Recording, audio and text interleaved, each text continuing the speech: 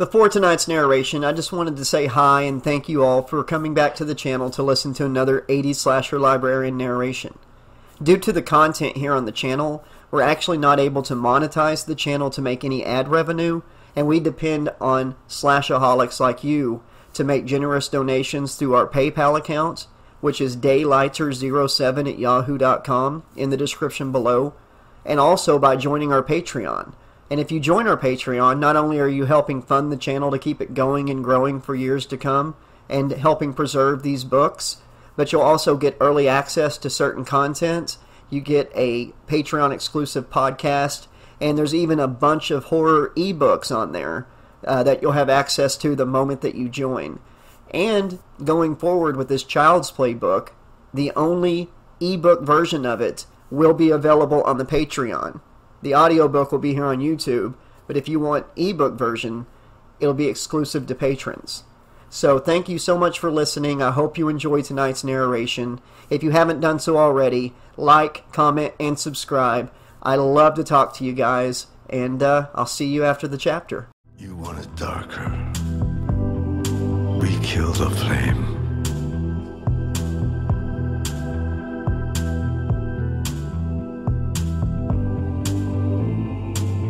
Magnified, sanctified be thy holy name. Vilified, crucified in the human frame. A million candles burning for the help that never came. You want it darker.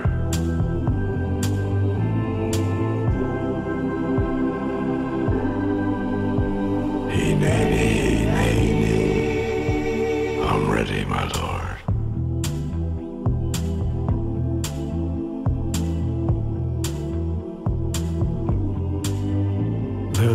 lover in the story, but the story's still the same. There's a lullaby for suffering and a paradox to blame. But it's written in the scriptures and it's not some idle claim. You want it darker. We kill the flame. Child's Play, a fan novelization of the 1988 film written by Jeremy Terry. Chapter 1 Breakfast in Bed. The first rays of morning sun shone through the large kitchen windows, catching notes of dust dancing on the air. A thin ream of frost crusted the edge of the panes and the world beyond, a typical winter morning in Chicago, Illinois. Six year old Andy Barclay paused in the middle of rummaging through the kitchen island's cabinets to stare at the ice. It was going to be Christmas soon, and that meant Christmas movies like Rudolph and Frosty. Those movies always showed big snowflakes falling from the sky in great crystal shapes, but Andy had never seen one. He wondered if they really existed. It would be really neat to see one, he thought, as he turned back to the cabinet and pulled out one of their scuffed dinner trays. I'd catch it and keep it in the freezer for the whole year so I could look at it whenever I liked. Andy stood and placed the tray on top of the island beside a box of Play Pal cereal and a loaf of bread. He was small for his age, with a quick smile and his father's brown hair. He wore blue and red Play Pal pajamas and good guy pajama sneakers. Cheery music floated to him from the living room, and Andy grinned. A child's sad voice rang out. I've got no friends. No one'll play with me. Andy ran through the arch into the living room and watched as a cartoon hot air balloon drifted down the television screen towards a forlorn boy sitting on the curb in front of a red brick apartment building, similar to the one he and his mom lived in. A rope ladder descended from the balloon's wicker basket, and a good guy climbed down, resplendent in his overalls and red hair. The good guy waved to the boy and said, Uh oh, I hear a friend in need. Cheer up! Who are you? asked the little cartoon boy. I'm a good guy. I've come from the Playhouse Clubhouse and I'll be your friend till the end. You will? Hmm, I've seen this one. Andy groaned. He turned back to the kitchen, his eyes scanning over a banner hung in the living room window that said, Happy Birthday, Andy, and the two wrapped packages on the bench beneath.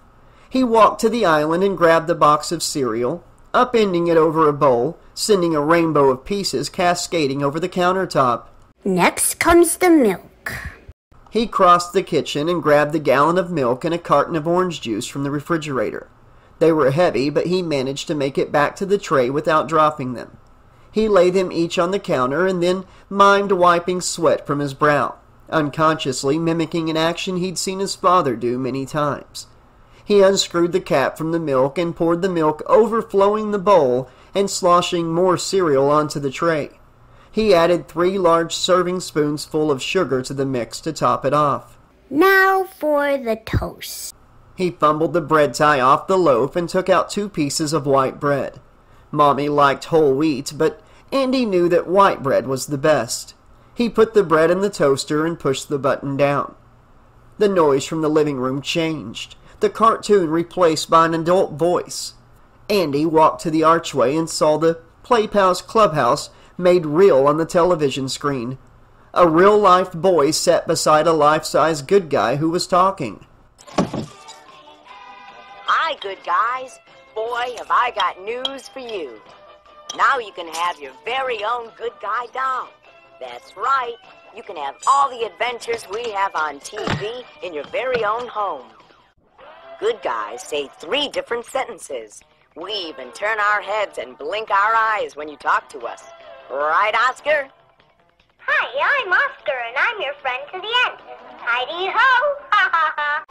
Every good guy has a name all his own, so he can be your very own best friend. Oh, wow. Andy whispered.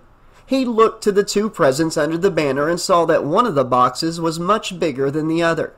Big enough to have a good guy doll inside?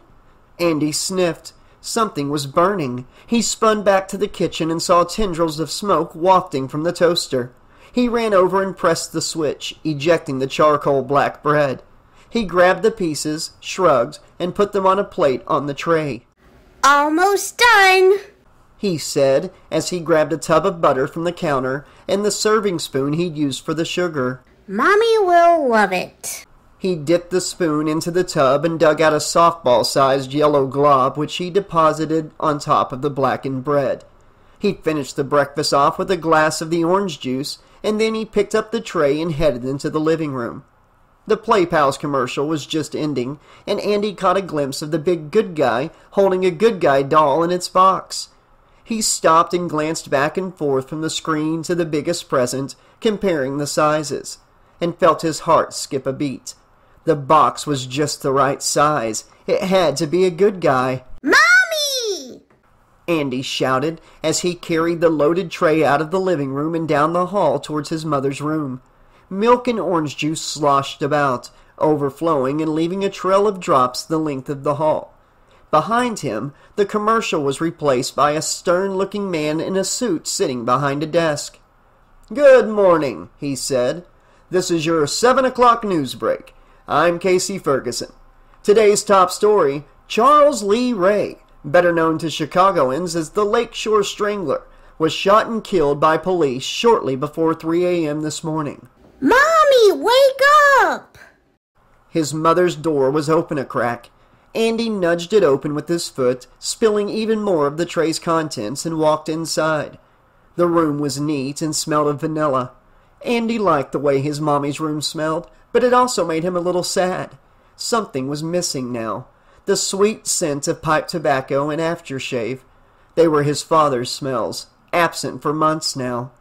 Andy pushed the bad thoughts aside and placed the food tray on the bedside table, knocking a large hardback book to the floor.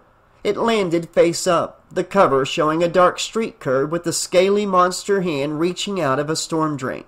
The word it was written on the top in big red letters. Mommy, Andy said again, pouncing on the edge of the bed. wake up!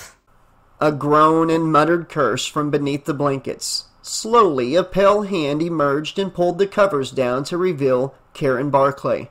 She wore red checked flannel pajamas, and her short, tasseled blonde hair stuck out at odd angles from her head.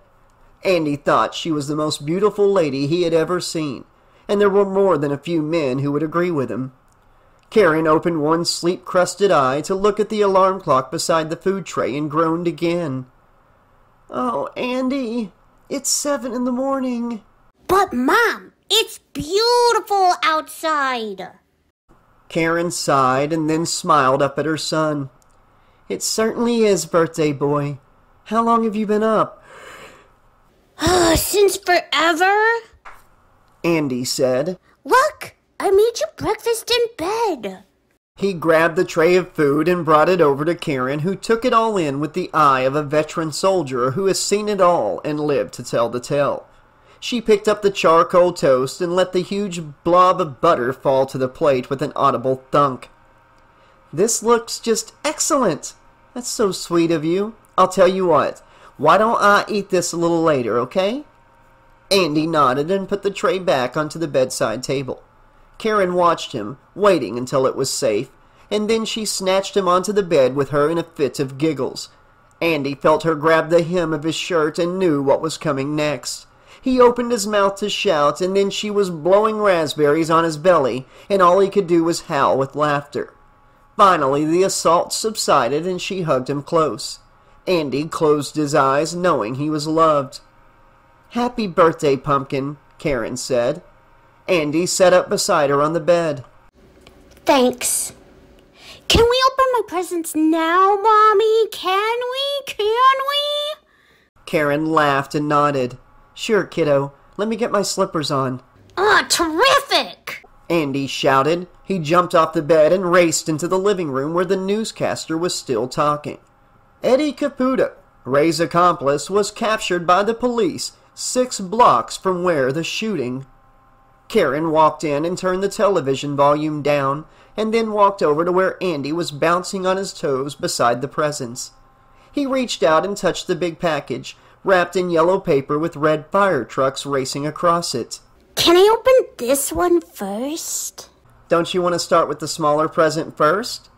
Andy shook his head back and forth, and Karen couldn't help smiling at him. Okay, go ahead and open it.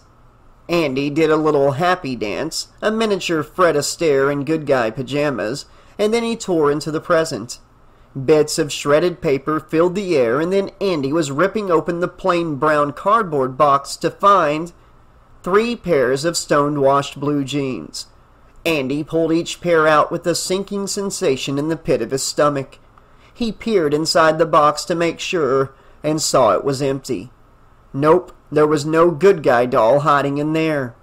Andy felt a prickle of tears at the corners of his eyes as his mother took one of the pairs of pants and held it up to his waist to measure.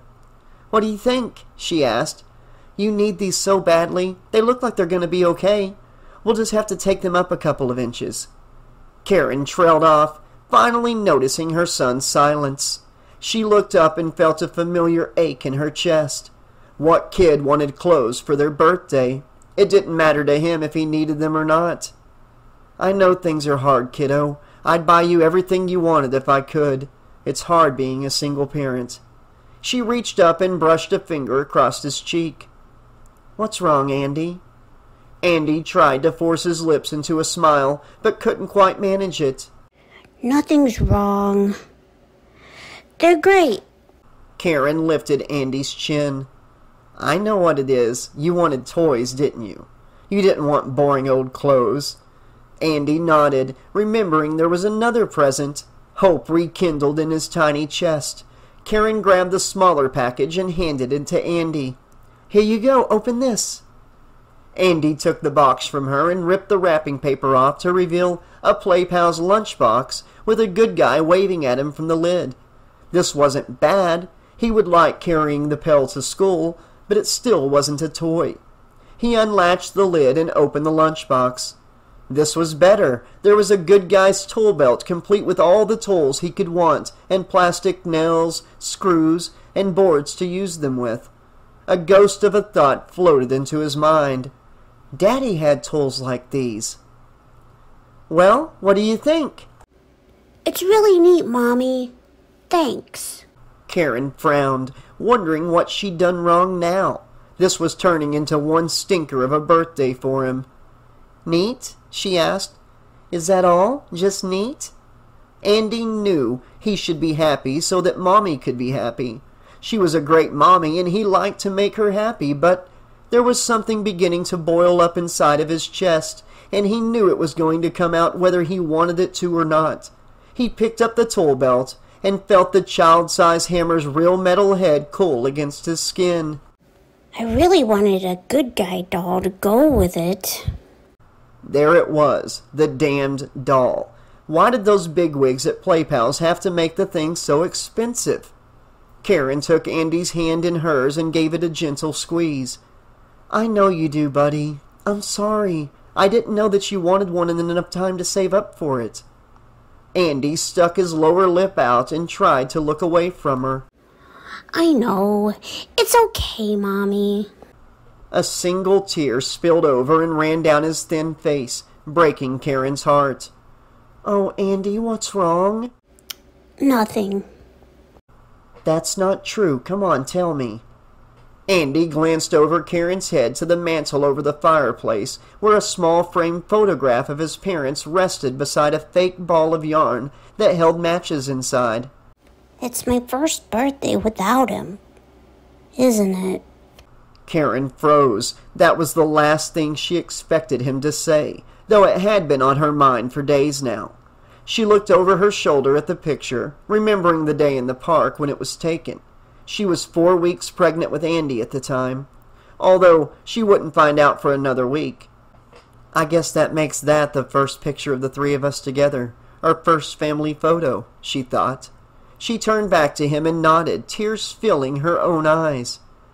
Yes, it is. Andy's lips started to quiver. Why can't he be here with us? Do you remember what I told you before? She asked. Daddy is in heaven now. The dam broke inside, overwhelming Andy. He pulled away from her and ran from the room. I don't want Daddy up in heaven. I want him here. He raced down the hall into his room, hearing his mother's heavier tread following behind. He burst through the door and flung himself onto his bed, burying his face in his pillows. A second later, he felt his mother's warm hands pulling him up. She wrapped him in her arms and rocked him back and forth as he sobbed into her chest. Shh, she whispered into his ear. I know, baby. I miss him too. I miss him so much. They stayed like that for a long time until Andy's tears began to subside and he pulled his face from her breasts. He looked over to his bedside table where there was another framed photo, this one of the three of them. They were all smiling, in love with life and full of love for each other. Karen watched Andy for a moment and then had an idea. She grabbed him by the shoulders and made him face her. I'll tell you what. How would you like a good guy doll for Christmas? Some light returned to Andy's eyes and he nodded. I'd love it. Then that is what you will have, she said as she kissed the end of his little nose. Your very own good guy, I promise. Cross your heart and hope to fly? Karen drew an X over her heart with her finger. Hope to fly. Yay! Thank you, Mommy. Andy cried, giving her a big sloppy kiss. You're so welcome, laughed Karen. Wait a minute. Andy said. He pulled back to stare gravely into her eyes. How long is it until Christmas? Karen laughed harder. It'll be here before you know it, sweetheart. It'll be here before you know it.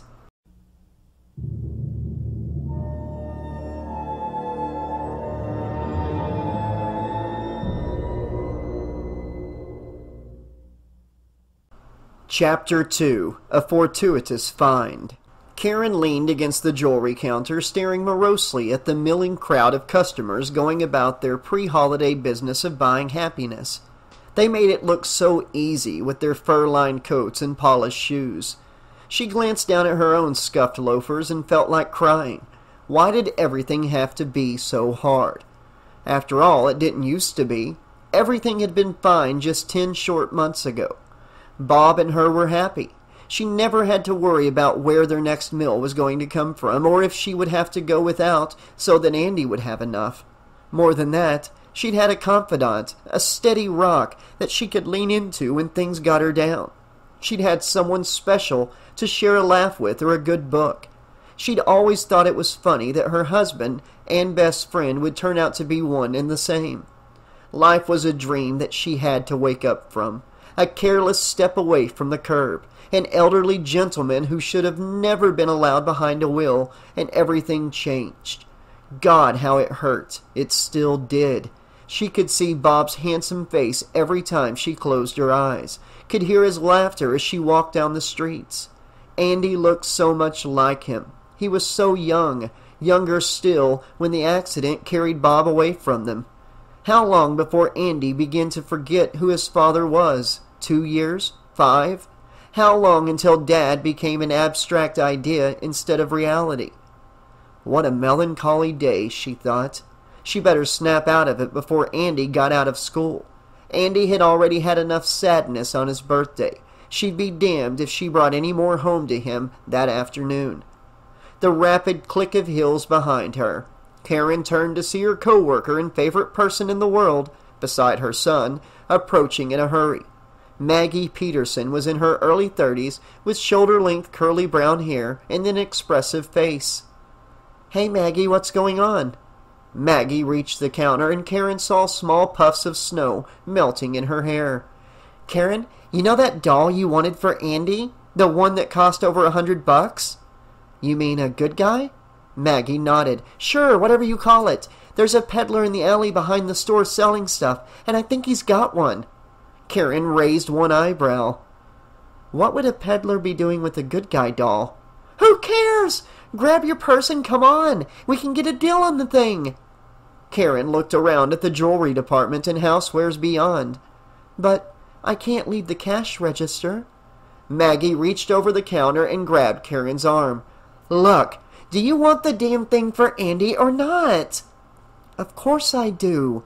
Then come on, Maggie said, pulling Karen from behind the counter and marching her towards the rear of the store. Karen looked back, caught a glimpse of a younger man dressed in perfectly ironed slacks and a vest. Hey, Dave, would you do me a favor and watch my register for a few minutes? Dave blushed and nodded. Maggie pulled Karen on before she had a chance to thank him. Shame on you, Maggie said in mock indignation as they passed through a door into the building's rear stairwell. Look at you taking advantage of poor Dave. You know, he's got a crush on you. Oh, don't, Karen said. I know he likes me, but I'm not ready for anything like that, especially not with someone I work with. Don't have a heart attack. I was just joking around. Besides, that kid would have a stroke if you so much as touched his shoulder. That boy needs someone to teach him a thing or two before he's ready for a lady like you. Oh, yeah? Karen smirked. Are you volunteering to teach him? Maggie shrugged. I don't have a hang up about guys I work with. They reached the bottom of the stairs and walked out into the frigid morning air. Snow drifted down into the alley between the buildings, softening hard edges. Karen looked and saw a disheveled looking man with greasy black hair that hung limply from beneath a dirty beanie hat. He was dressed in a torn trench coat and was haggling with a couple more of Karen's co-workers over the contents of a rusty shopping cart. Maggie pointed to the man. There he is! She took Karen by the hand and pulled her forward. The two women saw them coming and walked away talking quietly. The man watched the women go with avid interest and then turned to face Karen and Maggie. He flashed a grin at them, and Karen saw that his teeth were like worn, moss-covered tombstones, resting uneasy in his gums. Go ahead, Maggie said. Show it to her. The peddler reached into the cart and produced a large yellow box with red lettering. Karen took it from him and turned it around so she could see through the cellophane window on the front. A carrot-top, freckled-faced doll with blue eyes stared back at her from inside. Jesus, look at this thing, she thought, as she noticed a couple smudges and a dent on one corner of the box. It's an ugly little bugger, isn't it? What does Andy see in this thing? Well, Maggie said, is it a good guy or not? Karen felt her heart leap in her chest. Yes, yes it is. See, I told you, Maggie said. She turned back to the peddler. How much do you want for it? The peddler looked from Maggie to Karen's excited face, considering, and then said, mm, Fifty bucks. Fifty? grunted Maggie. Are you out of your mind? She'll pay you thirty for it. The peddler reached for the box. I'm not running the charity out here. The price is fifty bucks. Take it or leave it. Somebody else'll buy it. No! Karen shouted, pulling the box back from the man and reaching for her purse. I'll take it. Maggie spun on her. Karen, don't! That's too much! Karen pulled her change pouch from the purse and began to count out bills. No, it isn't. You have no idea how much Andy wants this. But we don't even know if the damn thing works or not. Karen opened her mouth to reply, but stopped when the peddler snatched the money from her hand and pushed the box back to her. Done deal. May it bring you and your kid a lot of joy. He turned to his cart and began to trundle it away from them down the alley. Karen studied the doll, feeling truly happy for the first time since Andy's outburst earlier that day. But Maggie wasn't finished. She took several steps after the man and shouted, Hey, creep! How do we know this thing isn't stolen? The peddler apparently had his fill of Maggie. He turned to the two of them and thrust his hips at them in a vulgar gesture. Hey, steal this! Maggie shot him a bird in return as he turned and walked away. Yeah, steal this yourself, slime ball. Karen checked her watch and gasped. Maggie's haggling had taken longer than Karen had anticipated. It was her turn to pull Maggie along by the arm back towards the stairwell. Maggie went reluctantly, a strange expression on her face as she stared after the peddler. You know, I think I dated him.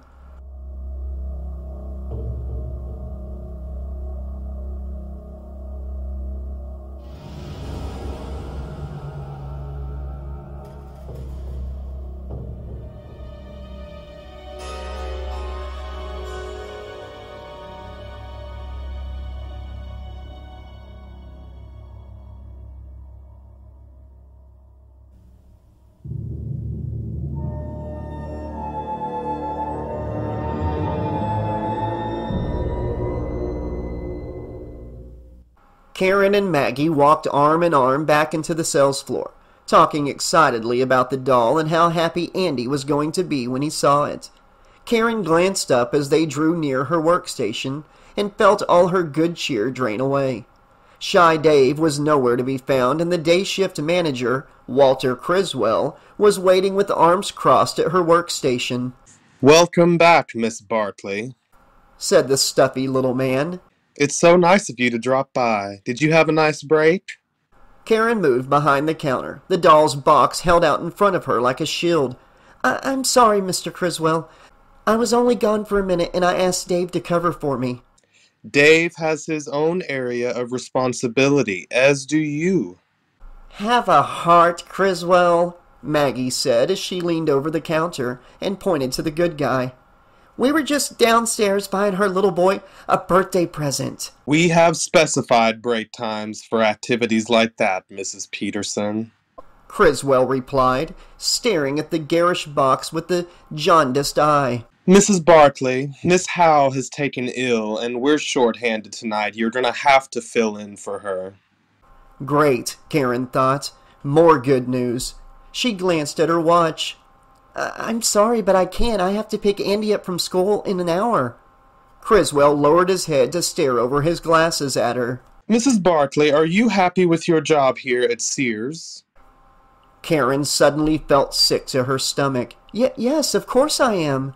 Then I suggest. Hey, Maggie said, coming around the counter and putting a hand on Criswell's arm. Would you chill out, Walter? She turned to Karen. I'll take care of Andy for you. Oh, Maggie, you can't do it again. Maggie waved Karen's protest away. Don't be silly. It'll be the hottest date I've had in months. I can't imagine why. Criswell said, pushing his glasses back in place and walking away. I can manage long enough for you to get your kid, but I need you back here by seven, Mrs. Barclay. Karen watched him go in shock. The nerve of the creep to say something like that to Maggie. He was one big brown asshole, Maggie muttered. Exactly, thought Karen.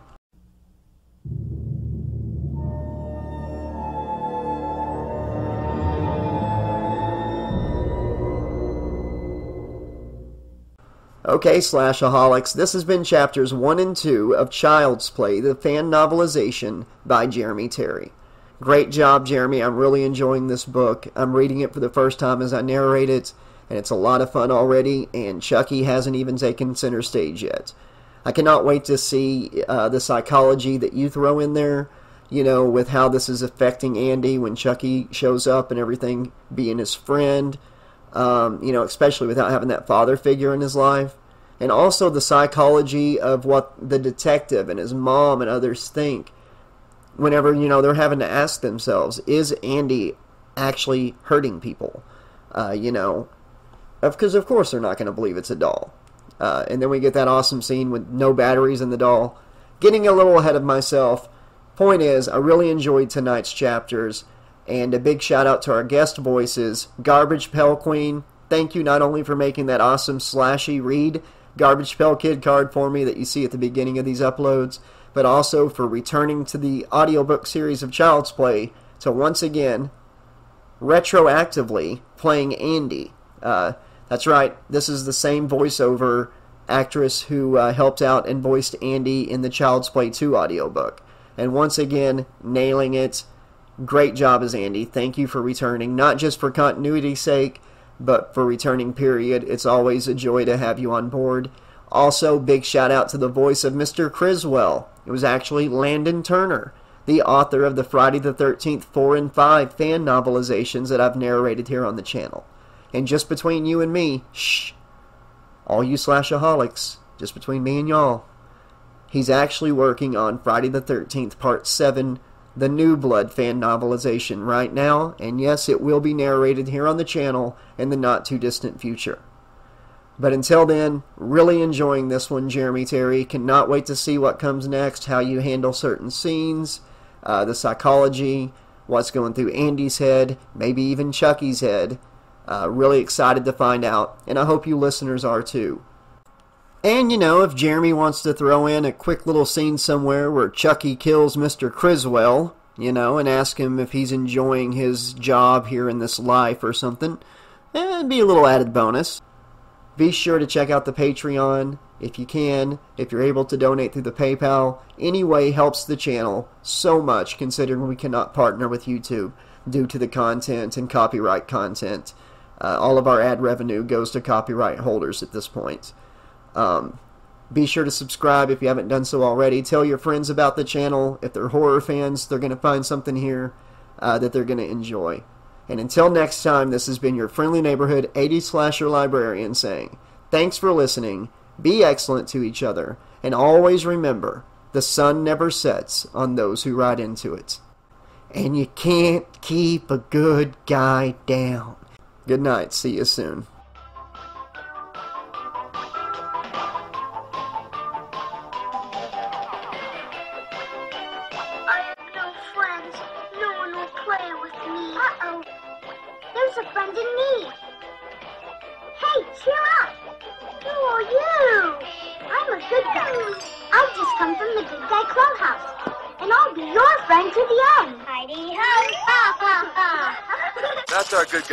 For today. But don't go away, because we've got a very important Good Guy message just for you. Hi, good guys. Boy, have I got news for you. Now you can have your very own Good Guy doll. That's right. You can have all the adventures we have on TV in your very own home. Good guys say three different sentences we even turn our heads and blink our eyes when you talk to us. Right, Oscar? Hi, I'm Oscar, and I'm your friend to the end. Heidi ho! Ha ha ha! Every good guy has a name all his own, so he can be your very own best friend.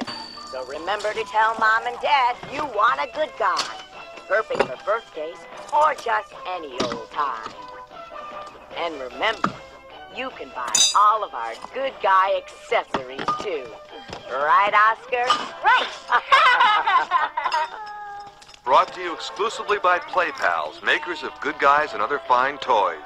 Found in toy stores throughout the greater Chicago area.